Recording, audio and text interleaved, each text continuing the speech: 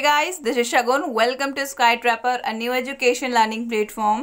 तो हम कंटिन्यू करेंगे अपना पहला chapter what is democracy and why democracy okay so let's see तो लास्ट क्लास में हमने क्या कवर किया था? लास्ट क्लास में हमने one person one vote one value से रिलेटेड तीन एग्जाम्पल्स देखे थे। कौन कौन से? Saudi Arabia Fiji and Estonia ठीक है? और जिससे कि हमें डेमोक्रेसी का तीसरा फीचर मिला था। आज हम क्या पढ़ेंगे? आज हम पढ़ेंगे rule of law and respect for right जिससे हमें डेमोक्रेसी का फोर्थ एंड लास्ट फीचर मिलेगा। ठीक है? Rule of law and respect for right को समझ नहीं आ रहा होगा ना? देखो नॉर्मली अभी जब हम पूरा पढ़ लेंगे एग्ज़ाम्पल के थ्रू तो ये समझ आ जाएगा क्या मतलब इसका। फ़िलहाल इतना जान लो। रूल ऑफ़ लॉ मतलब लॉ के अकॉर्डिंग रूल करो। रूल का मतलब यहाँ पे शासन करना है। लिमिट्स में रह के लॉ में जो नियम कानून बने हैं, उनके लिमिट्स में रह के शासन करो। और रिस्पेक्ट फॉर राइट मतलब राइट्स जो भी ह्यूमन राइट्स हैं, उनके रिस्पेक्ट करो। ठीक है? यही सब इसमें जो एग्ज़ाम्पल दिया गया है जिम्बाब्वे का, उसमें बताया जाएगा। तो क्या हुआ था जिम्बाब्वे में? 1980 में जिम्बाब्वे को व्हाइट माइनॉरिटी रूल से आज़ादी मिली थी।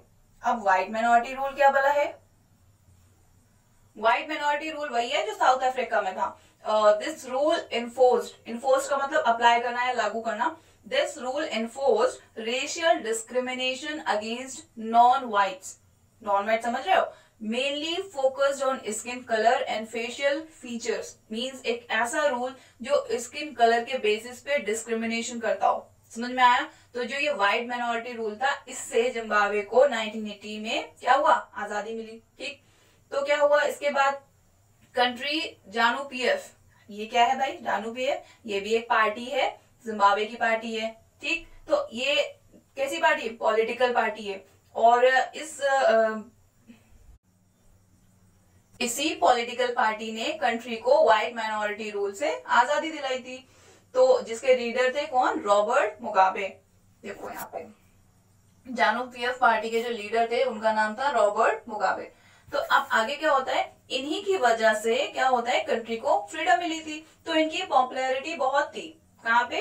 जिम्बाब्वे में। लोग पसंद करते थे इन्हें। इन्हीं सबके चलते ये हर बार इलेक्शन जीत जाते थे। मतलब कुछ तो पॉपुलरिटी की वजह से और कुछ अनफेयर तरीके से। आप सोच रहे हो यहाँ भी अनफेयर तरीके से इलेक्शन होने लगे क्या? हाँ ऐसा ही कुछ था यहाँ पर भी। तो क्या हुआ? कई सालों तक ये जीतते रहे इलेक्शन जीतते रहे और जीतने के बाद कॉन्स्टिट्यूशन में चेंजेस करते रहे, अपने कंफर्ट के अकॉर्डिंग ठीक है, अपनी कन्वीनियंस के अकॉर्डिंग समझ रहे हो ना? ये जीत जाते थे और कॉन्स्टिट्यूशन में अपने अकॉर्डिंग चेंजेस यानी अमेंडमेंट करते जा रहे थे।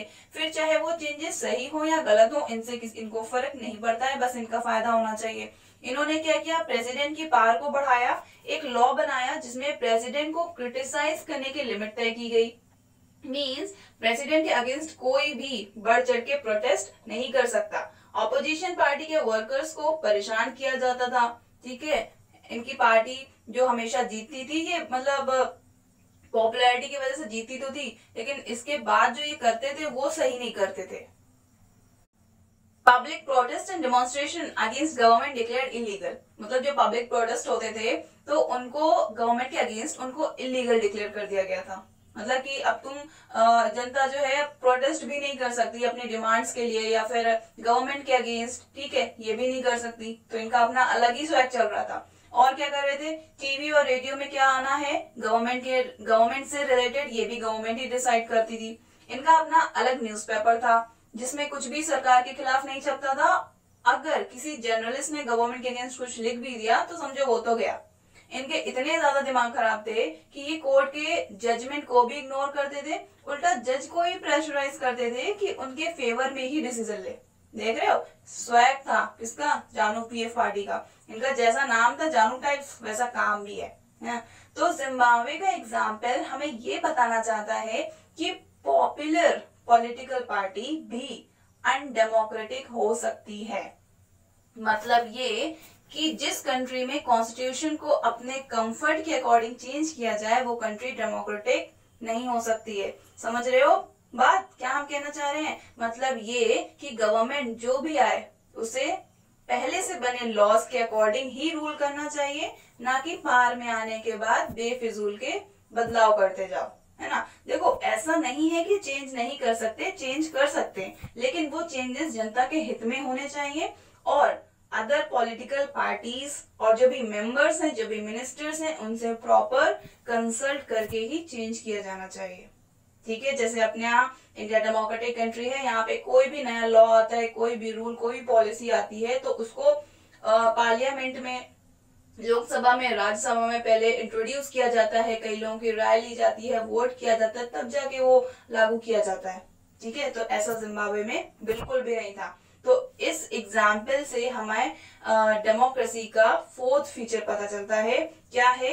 A democratic government rules within limit and set by constitutional law and citizen right एक डेमोक्रेटिक गवर्नमेंट को कॉन्स्टिट्यूशन द्वारा बनाई गई लिमिट्स में रह के ही रूल करना चाहिए। ना कि बार बार उसको अपने हित के लिए चेंज करना चाहिए या फिर कह सकते हैं अमेंडमेंट करना चाहिए।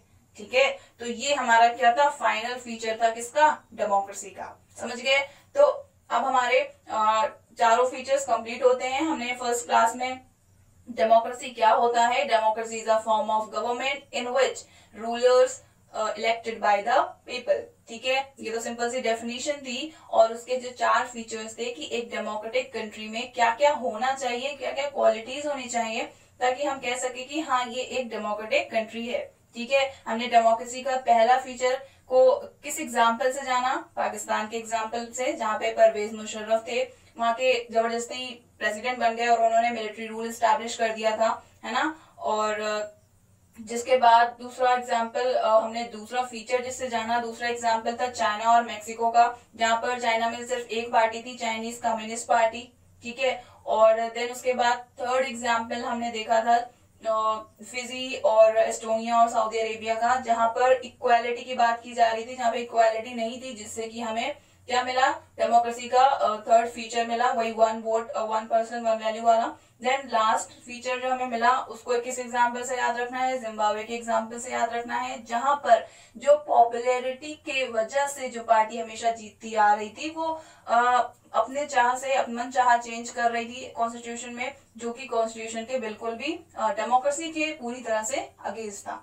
ठीक? तो आई होप तुम्हें ये चारों फीचर समझ में आया होंगे। और डेमोक्रेसी क्या है ये भी क्लियर हो गया होगा। ठीक है? अब नेक्स्ट क्लास में हम पढ़ेंगे कि वाई डेमोक्रेसी क्या डेमोक्रेसी ज़रूरी है किसी भी कंट्री के लिए? अगर ज़रूरी है तो क्यों है? क्या इसकी अच्छाइयाँ हैं और क्या इसकी बुराइयाँ हैं? आई I मीन mean, क्या मेरिट्स हैं क्या डिमेरिट्स हैं? ठीक है? तब तक के लिए चारों फीचर्स को रिवाइज करो और इनको याद कर लो और हम तुमको चारों फीचर्स का और डेमोक्रेसी की डेफिनेशन का एक पीडीएफ लिंक कर देंगे या फिर तुम मेरे टेलीग्राम चैनल को ज्वाइन कर लो, वहाँ तुम्हें सारे पीडीएफ मिल जाएँगे क्लासेस से रिलेटेड ठीक है? और अगर कोई क्वेरी हो तो मुझसे पूछ लेना, ठीक? Till then be happy be safe and bye bye bye